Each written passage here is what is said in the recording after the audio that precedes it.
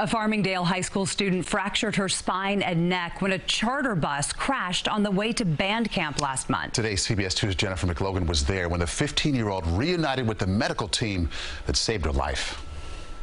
Thank him. He's the reason why I'm here today and why I'm walking. Tears streamed from 15-year-old Audrina Crocitto, reunited with a medical team that saved her life. If the bone is fractured so much and it dislocates, you can become paralyzed from the waist down.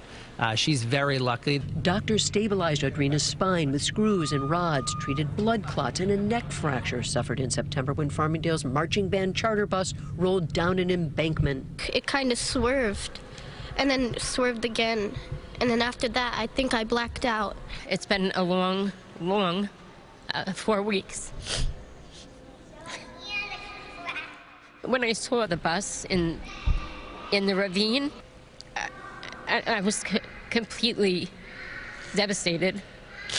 The Farmingdale School family soon learned the band director, Gina Pellettiere, and retired teacher Beatrice Ferrari were killed, dozens of children injured. And as it was rolling, I got launched to the other side of the bus, so I got launched out the window. When Audrina, a junior brigade member of Farmingdale's fire department and aspiring EMT, finally regained consciousness, she knew not to move. There's kids panicking, so I told them to calm down, told them to stay still. More heroics when flight medics arrived and realized the gravity of this situation, airlift airlifting Audrina from Orange County to Cohen Children's Medical Center. At first, I refused to get on that helicopter.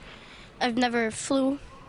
That was my first time, and I knew I had to get through it. She said she visualized Ms. Pellettiere at the pearly gates. Ms. Pellettiere was at those gates, and she said, no, I'm not letting any of my students I wanted to give up, I have to be honest, but I got through it.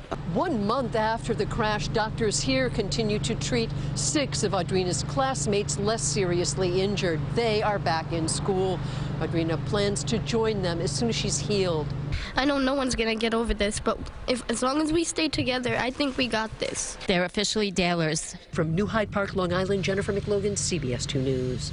The emotions are raw and real and will be for a long time. Audrina says she dreams of taking to the field next year with and marching with her band and playing her clarinet. Wish her the best. Absolutely.